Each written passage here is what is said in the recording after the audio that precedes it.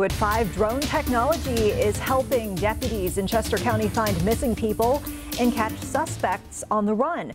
Grants and donations paid for this $50,000 device, and the sheriff's office has had it for 20 days. So far, we're told it has helped catch two suspects. Now, this drone comes with an infrared camera. It assists with searches at night by spotting the heat of a suspect in hiding. And you might recall last year, the Chester County Sheriff's Office spent seven days searching for murder suspect Tyler Terry. Dorsey saying that this drone would have helped catch him sooner. That uh, manhunt, that fugitive search, uh, it just took too long.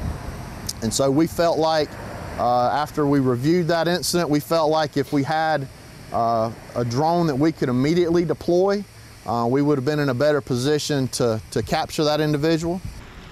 Sheriff Dorsey also addressing privacy concerns, saying that deputies must follow laws and regulations when operating this drone.